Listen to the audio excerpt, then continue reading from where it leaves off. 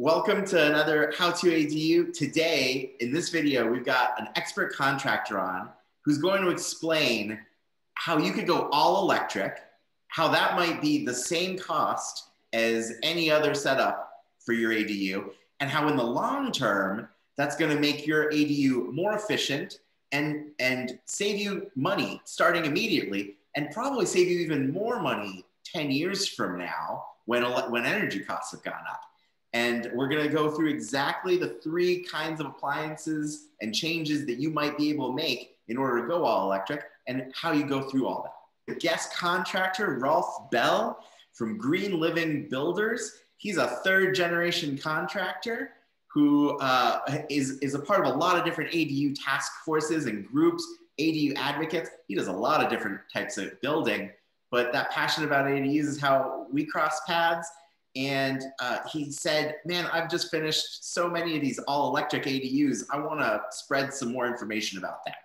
And I, I, said, "Well, hey, I've got I've got a group of people who keep asking me about electric and whether they need gas in their ADUs, and I don't know a heat pump from a sump pump. So let me let me put a, a real expert on the on the channel. And uh, with that, Rolf, can you talk to us a little bit about all electric ADUs?" Uh, absolutely. It's a pleasure being with you, Ryan, and uh, I look forward to this conversation. Uh, and jump in at any time if I if you need if I start doing the construction speak and and, and need to just be more down to earth. But uh, uh, no, it, has been a, a, joy to be part of the the ADU movement uh, because it's you know as we all know, especially in the West Coast, but throughout the country, we have such a housing crisis. And and if you follow the demographics of of of um, people living in in households. The uh, uh, if you look at 2030, you know, another uh, almost another decade out, uh, we're going to be down to you know le- less than two people per per household, and to downsize smartly uh, instead of overbuilding is is a is just the right way to go as we look at at uh, an aging population and and more people living singly by themselves. It's just a very smart way to to uh, overcome our housing crisis and, and build more economically. Uh, on the West Coast and in different parts of the country, uh, building smartly with, with energy efficiency is a really big deal. Uh, we have some very strict um, environmental goals out here to become net, net, net uh, neutral as a as an entire state of 30 almost 40 million people and uh, we have to be pretty aggressive and smart about uh, making the changes that that allow that to occur. Uh, everything from the, you know the electric car movement to wind and solar, uh, much more cleaner forms of of uh, of uh, energy than than what we've you know grew up with. you know gas and and um, natural gas as as our, our as our primary ways that that kind of propelled our lifestyle. Uh, but but there's really you know dynamic alternatives, and the ADU opportunity allows us to really lean into that smartly. Um, so there are ways uh, to e effectively uh, make an, the, an, an ADU entirely electric so that we can eliminate the cost of extending a gas line. And that tends to be a big deal because usually when you extend a gas line, you also have to upsize it. So that means uh, not just making it longer, but making it larger. So that typically would mean you'd have to go all the way back to your meter and upsize, especially if you were considering uh, uh, the, the idea of using a um, tankless water heater, which uh, has a higher volume of gas requirements than, than a standard water heater. Some people just a couple years ago we were thinking, I'm going to go tankless. That's going to be the right thing, right thing to do. Well, in this day and age, when you really want to go clean and quite frankly have long-term economic uh, incentives in, in play, you really want to go all electric. And this is how you do it. You uh, the the the heat pump phenomena um, means that a um, a water heater uh, and or your um, uh, heat uh, furnace, uh, heat and, and cooling can all be done with a heat pump. And what a heat pump does is, is uh, lower our energy use by two thirds. It's a much more efficient way uh, to, to generate both heating and cooling uh, both for water and for for our uh, atmosphere environment. And, and so that's a big deal, two thirds savings right off the top. And, and those items tend to be fairly comparable because again, you're saving significant amount of money not upsizing that gas line. So you, uh, uh, with without that comparison, the the heat pump, adding a mini split heat pump uh, is is typically more expensive. But when you when you when you add in the cost of, of saving on, on not having to run that larger gas line back to your ADU, it comes out pretty even. And then the long-term energy savings really adds up in terms of real economic dollars and, and you know a smarter environment. So it's a it's a smart thing to do.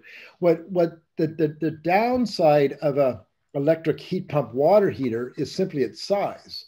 Uh, they're not currently made to be outside like like you can make a tankless. A tankless hot water heater that was formerly run off, off of uh, gas could either be internal or external in a small building. And but we are um, stuck with needing a, a, a water heater closet uh, that needs to be roughly 26 inches by 26 inches. And that doesn't sound like much, but in an ADU, every square foot is valuable in terms of, you know, where is it going to, where it's going to be our closet space? Are we going to have a loft or not? Uh, uh, and so it, it ends up being, you know, a, a, big deal carving out that little closet somewhere.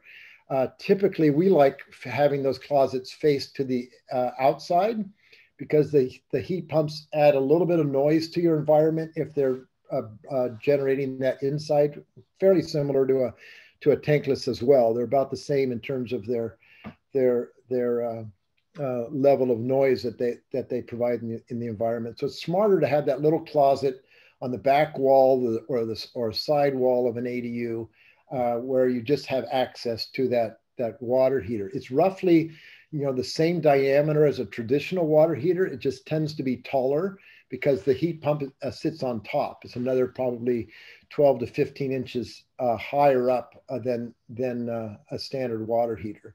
And they don't currently yet make a model that's kind of compacted and squished down uh, so that you could, you know, sneak it into a little corner of an attic or whatever. So that's, uh, I think that's going to come because because of the ADU phenomena in, in California, um, making it so easy to build ADUs now that that uh, there's going to be a, a, much larger market for for these uh, heat pump water heaters, and as a consequence, I think uh, that the companies are going to start figuring out how to how to make them more smaller and compact. But but currently they don't exist. Okay i'm gonna i'm gonna try to like translate that into like ryan simpleton stuff right? And you, and you stop me when i get stuff wrong. So if somebody's if somebody's considering especially on a detached where they're they're ha- gonna have to run a big gas line to the to the new unit and you're saying on top of running the line they might have to ex- expand the line and that goes all the way back to the start of the line yep. Uh, that's a big cost they they might save money or at least have comparable costs for installation, just not doing gas at all to the detached and going all electric. And the thing that makes that possible, because there's electric water heaters too that, that aren't these these uh, mini split heat pumps, but the mini split heat pump is so much more efficient that that makes it really feasible. Right. I mean, the, the, the cost tends to be fairly close to the same for, for the actual purchase and installation.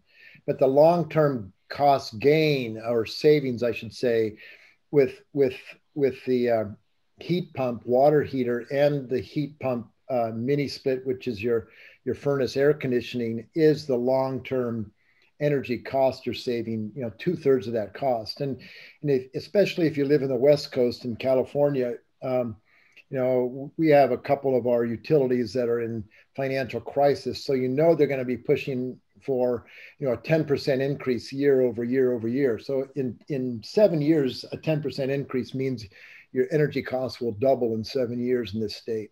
Whereas if you're coming in already at, at, at the beginning with uh, a two-thirds savings, it really becomes real money, you know, uh, um, seven years from now. Uh, it, uh, if you're saving you know, $100 now, you're saving, you know, $200 a month um, mm-hmm. uh, just down the road. So that's one, key piece. And and then um, what do you what do you think about? Because a lot of times I talk to people about all electric, they're going to say like, yeah, but do I get like my oven, my kitchen's going to be all electric? Is the technology really there for that? Like they think like 1950s bewitched stove or whatever. yeah, that, yeah, that, that's the that's the uh, piece that most people are not um, uh, apprised of is is also the revolutionary um, change in in electric stoves. You know, we we all kind of think of, you know, somewhere in our our past was probably you know a bad apartment with a with the old coil uh, um, uh, electric uh, stoves that that took forever, cooked cooked unevenly, and we hated them, and so we all eventually, when we could, you know, uh, changed over to gas. The the the big surprise is that with induction stoves, induction heat, it's a, form of electric heat.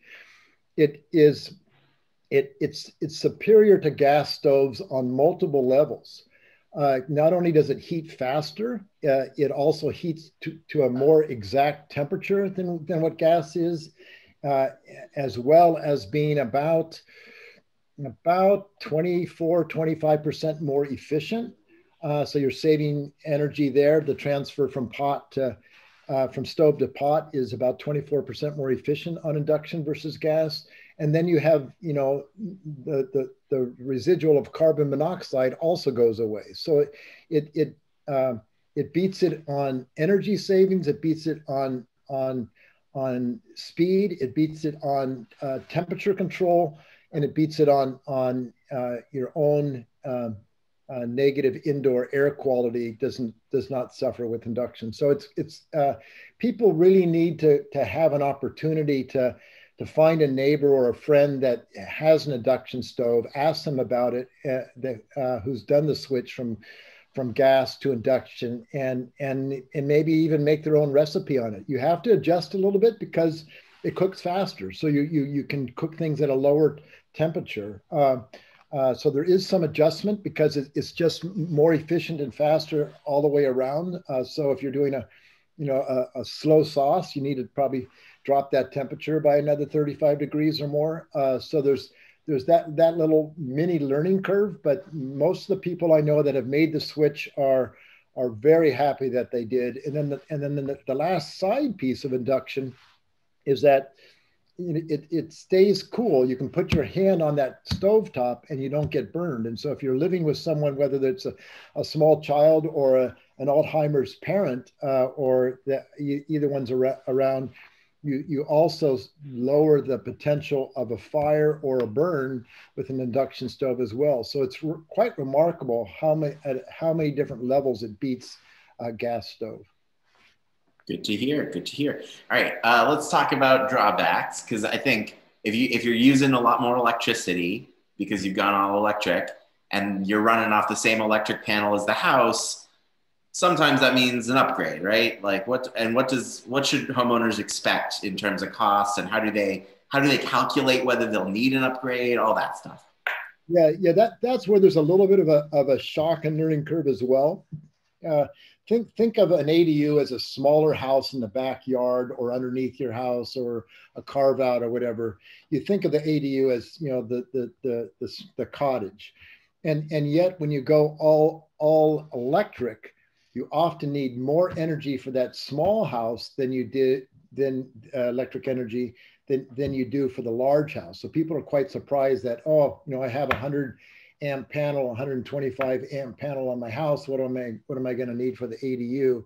You, you typically are going to want a 200 amp panel for that little, little uh, ADU. So it almost seems counterintuitive. Why do I have such a larger, how do I have such a larger panel and and and save money on energy use simultaneously and and you know the uh, your gas bill goes away on the ADU that's one of the ways you you save but but you you um, uh, nine times out of 10 there's a few uh, we recommend putting in a, a 200 amp panel just on the ADU and and the last thing that gets added into that the future equation for all of us is is why uh, there's you know one more piece we haven't talked about, and that's the potential of a future electric car.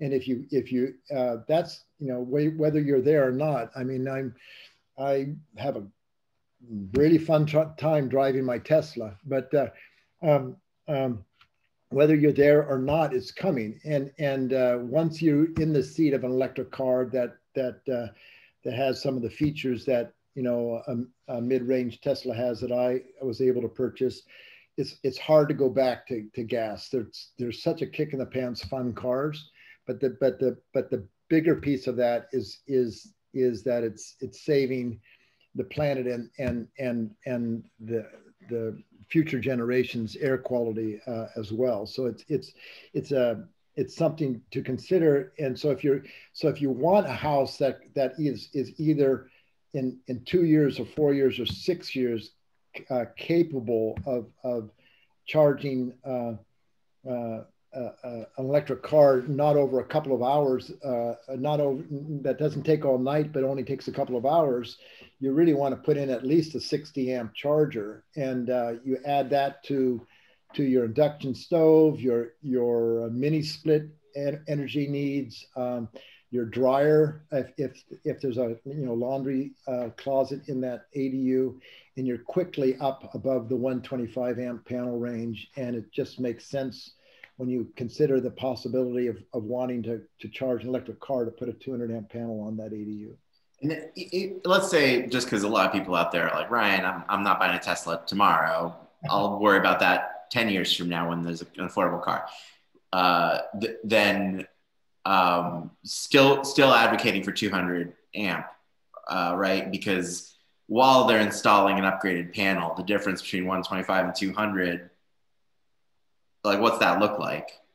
Yeah, yeah. If if if you kind of if you kind of add to your house incrementally, uh, you know, I'll, I'll, I'll, upgrade just enough to where I am now, um, and then at a later date maybe consider upgrading again you're you're nearly doubling your cost. Uh, if you go from a 125 amp panel to a 200 amp panel now, you're incrementally uh, uh, adding, you know, uh, you know, probably it's probably another $800 because everything has to be bigger. So it sounds like it's real money, but in, in the in the larger picture, if you ever have to upgrade a second time, it's going to be thousands and thousands of dollars. So in the in the bigger scheme of things, this is the time to to, to be ready for an all electric future because ultimately it's going to give you cleaner energy and lower cost of energy. That's it. If you look at how many things we plug in these days that we didn't have to plug in when we were growing up, I, I, think everybody knows there's going to be more plugs, not fewer, right? And then, side note, I, I missed an opportunity to say if you ever want me to um, test your induction oven or your Tesla, I am I am game to travel down to Berkeley. Uh, I, I, think uh, that's a so while I'm talking about where you're located, you know, it, you're you're in the East Bay. Uh, you're and, and you're your contractor available. If people want to contact you, I'll put the information down in the description below. Um, is all of this stuff true across the state? Or does it does it behave differently in Southern California or in other states other than California? Yeah, the, the I mean, in and as of January 1, 2020, um, you know, the ADU laws uh, affected every single single municipality in the state. You can now build ADUs, and no one can stop you in just about every single uh, property, even in HOAs. You, you you're given you're given a path forward to do it.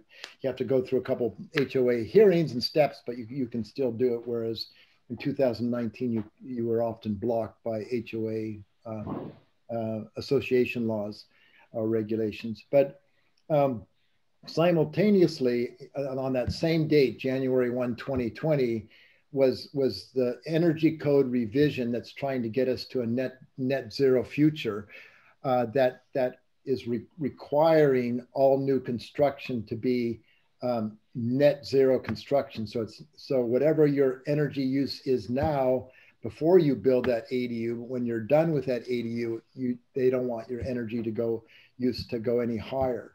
And and and the combination of using the appliances we're talking about, as well as then looking for the opportunity either on your main house uh, or your ADU to add solar is is is the last critical piece of that equation.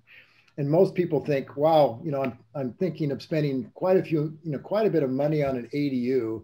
Um, I'm just going to run out of money. I should, you know, maybe later I can add solar. Well, you need to really do the math because adding solar now is the same thing. Is that is that it doesn't it doesn't cost you even the capital expense of of of of solar on on the the main house or the um, ADU. There are ways to make that cost of of installation and then cheaper energy use uh, to amortize those so that it it it immediately pays for itself. Uh, for example, in my own house, uh, a few years ago, our, our electric bill was running uh, about 165 a month. Uh, we switched to throwing 15 uh, panels on our house that covers all of our, our electric, electric use in this house and, and took out a loan to pay for the solar. We now pay $104 a month for the solar bill and have no, no electric bill. And, and uh, uh, that was, you know, three or four years ago, probably our electric bill by now would be 185. So we, we already have a gain immediately of $85 a month from making that switch. So we just took out, there's low interest loans for solar. There's some great credits for solar. And if you do the math and, and take what you're currently spending uh, on your utility bill and convert that to, to what you'd be uh, paying for a, for a solar payment, you come out ahead. Mm-hmm. And, and, and guess what? In, in 10 years, I will have paid that off and my solar's typically good, good. Those panels are typically, typically good for 25 years. So I'm going to have 15 years of completely free energy while, while your energy costs are doubling or tripling. Mm-hmm. mm-hmm. All right. And then i have got a couple like oddly specific questions. Like, so, so a, a, lot of the time when people hear mini split, they're like, wait, I thought that was the new way to do air conditioning and heating. You're telling me it's water heater too. Is that the same device or is it just two different things that use the same technology? I'm confused you a bit. That what, what both technologies use is, is a heat pump. So mini split is a heat pump based and a hot water heater that, that is a heat pump based or is technology in both those areas, whether it's whether it's uh, conditioning your air or conditioning your water, they save two thirds on your energy costs. So so a mini split is is uh, yeah, there's there's there's three different ways to install a mini split. One one is where we you know you cut a hole in your wall and in the outside is the condenser and the inside. There's something that sits up you know right up against the wall usually uh, at a profile of about 30 inches off the ground. You see those in a lot of hotel rooms for example. In other hotel rooms you see a mini split high up on the wall usually about three feet long about a foot wide, typically white. They can be other colors too, but typically white. And and that that uh, heat pump mini split is it's the condenser outside has the miraculous ability. This is the this is the piece of the technology that that uh, physicists know better than I do, but but remarkably in this type of environment where it's not too cold, not too hot in most of the the of California, uh, a mini uh, a heat pump is able to pull um, cold air out of hot air and able to pull hot air out of cold air depending on what you need. It's rather like how what huh? you know, how is that possible? You know, it's all about molecules and and uh, uh, and so uh, a so what you get with a mini split uh, air uh, conditioning uh, piece of equipment is something that can both heat and cool. It, it can do either or. And, and so you, you get two for the price of one, if you will. If you, you know, in the house I, that I currently live in, most of this house is, is, is just simply heated by a furnace. But, but as climate change is starting to impact our third story, we remodeled our attic a few years ago uh, one of these days I'm going to want a mini split up in that attic because I want it to be cooled off because it start, you know, especially this, last fire season, it was getting a little bit uncomfortable up there. And so that, that heat pump gives us inexpensive hot air and an inexpensive cool air when we need it. Cool. So if somebody is building a project, they're pretty interested in what you just talked about, and they're like, "All right, I I need to look up going all electric." Is that something they just go to their contractor with, or is do they need a specialist? Yeah, yeah. The um, because of net zero construction, uh, as of January 1, 2020, what gets added to the team of of people planning your ADU is an energy de design specialist. Um, it's usually about a, a five to six hundred dollar exp expense where they look at the design that that uh, your designer or architect has put together for you and make sure that it meets net zero construction criteria that can be approved in your municipality and state. And and uh, and they would know often more than the than the typical contractor about uh, how do I go all electric? There, there, it's a quick learning curve because we're forced to do it. So there's more and more contractors are are are having their first experience with all electric.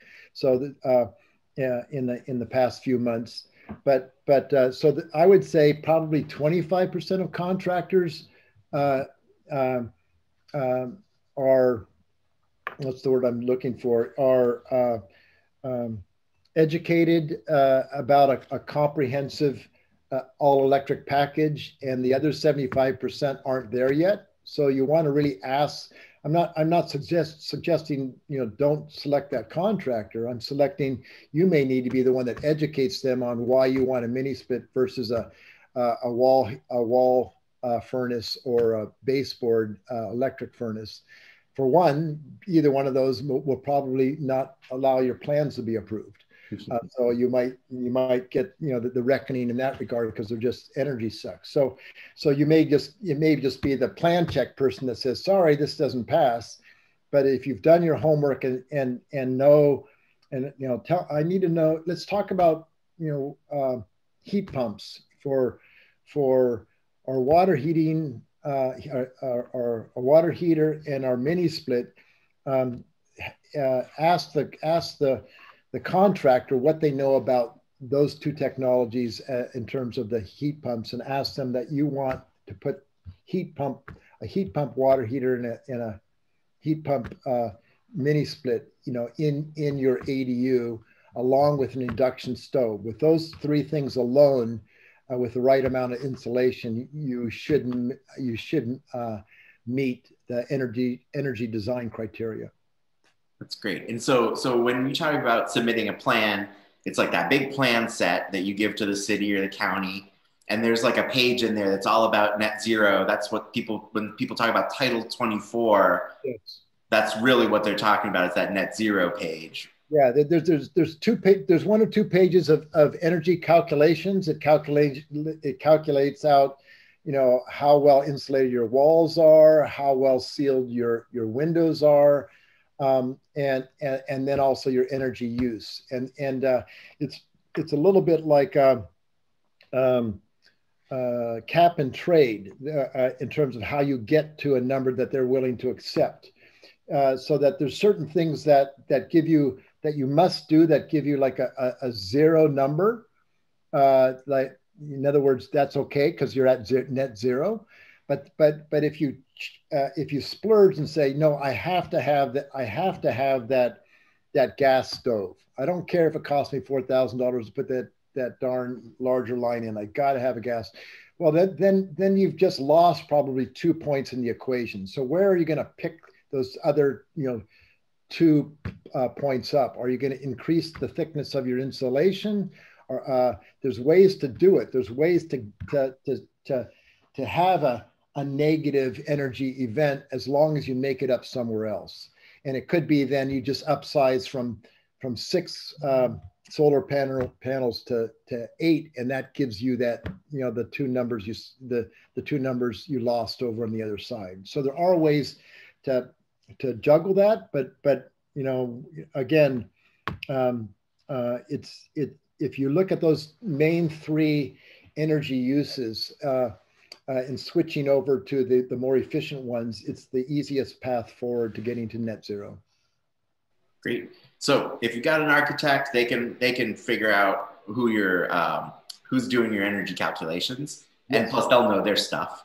Yes. You've got a contractor, talk to them about those three appliances and go and seeing their comfort level. And if they need to learn some or if you need to educate some, that might be part of the learning curve on your project because building in 2021, maybe three and four have, haven't done an all electric building yet. Is it, yeah? And, uh, and then if it's, and if it, you're running in any walls, then, then do, come, come bug me and I'll, I'll try to hook you up with some resources, but you should be able to do it with your existing team um, and and a little bit of a little bit of research. So, that sounds like a plan. Yeah, yeah. It it it it, it seems like a lot, and, and in some ways it is. Why? Because the, the the building code for the entire state changed, the ADU code uh, for the entire state changed, and the energy code for the entire state all changed and fell on January 1. So it can feel overwhelming, but there are some simple steps going forward. And we just talked about, you know, this, this one you know, key pathway forward. If you just start with that, with, with that path and those three uh, changes in, in, in your appliance selection, then you've just made your life easier. I love it. If, if people want to learn more about this stuff, about electrical and solar requirements and ADUs. I'll put some videos up here that they can watch. If they want to learn more about Rolf and, uh, and his, his business in the East Bay, there's some links in the description below. And I uh, really appreciate everybody's time watching today. Thank you. And thank you for coming on, Rolf. Uh, it's my pleasure, Ryan. You be well.